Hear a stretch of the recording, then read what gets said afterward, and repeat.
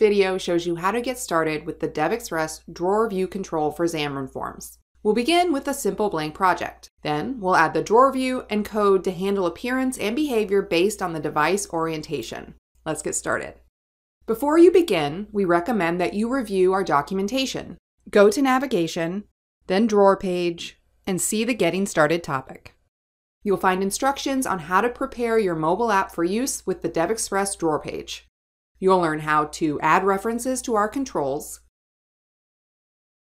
add registration code to proper places in the project, and add a namespace and control declaration to your XAML code.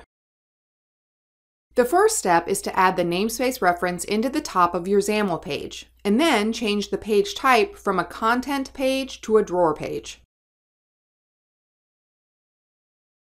Next, switch over to the code behind file and add the necessary using statement to reference the DevExpress Xamarin Forms drawer page library. Finally, update the class inheritance by swapping Content View again to Drawer Page. Following the tutorial from the DevExpress Documents website, create three classes that will hold the sample data. First, a vehicle.cs file, then grouped vehicles viewModel.cs, the last one being main_viewModel.cs. For simplicity, copy the code from the website and paste into the corresponding file. Switch back to the main page XAML file. It's time to add the content. We'll begin by creating and assigning the list view instance of the drawer page.drawer content. This is bound to the view model's vehicles by make property. Next, we create the drawer view.main content property and bind its list view to an item selected in the drawers list. Run the application.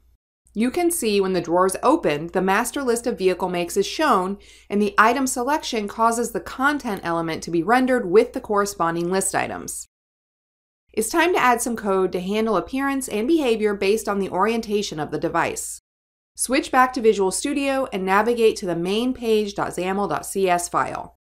We're going to implement a property to determine the orientation of the device, along with an event that will be updated when the screen size is altered. Using a value converter, we'll determine the behavior of the drawer, alternating between split when in landscape mode and the slide on top method when portrait. Switching to the XAML view, the drawer behavior property is bound to the newly created is landscape oriented property. Moving to the app.xaml.cs file, we need to assign the app's main navigation page to an instance of the application main page and add the main page drawer page to the navigation stack.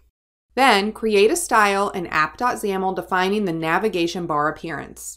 Since we want to implement a button that can be used to open and close the drawer, the next step is to add a stack layout to the navigation page title view property, followed by the button and label.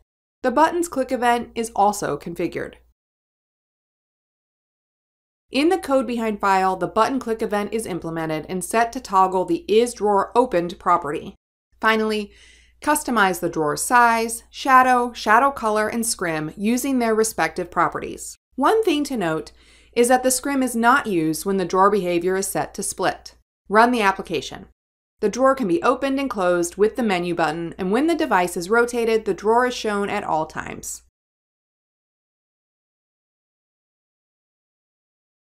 This concludes our quick tutorial. We recommend that you also review the demo application and learn about other capabilities available in our Xamarin Forms drawer page control. You can get the demo source from the download manager on devexpress.com or from our GitHub repository.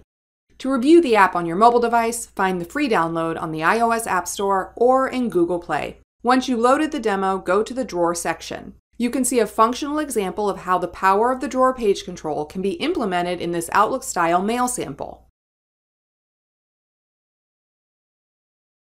To see examples of the different position and transition settings, check out the drawer settings demo, where you can try out the many combinations to determine the best solution for your next project. Finally, the root level drawer example demonstrates the convenience of switching different content styles swiftly.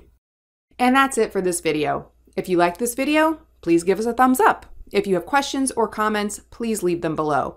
And don't forget to subscribe and ring the bell so you get notified whenever we release new content. Thanks for watching, and thank you for choosing DevExpress.